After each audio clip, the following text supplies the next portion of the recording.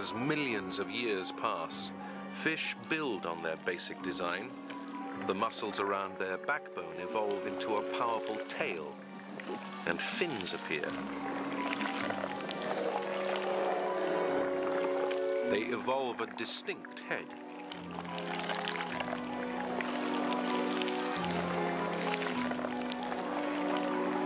He may not look like you or I, but this odd fish is becoming the blueprint for our own bodies.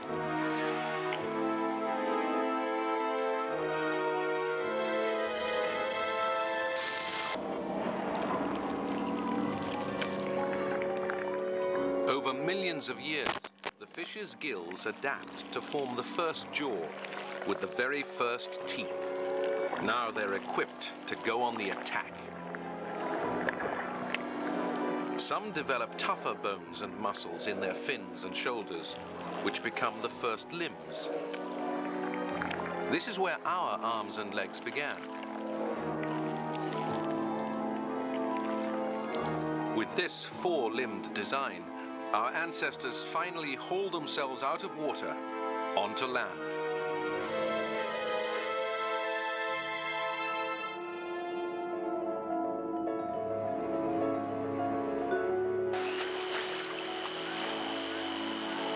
This is the giant amphibian, Hynerpeton, the prototype land dweller for the next 300 million years.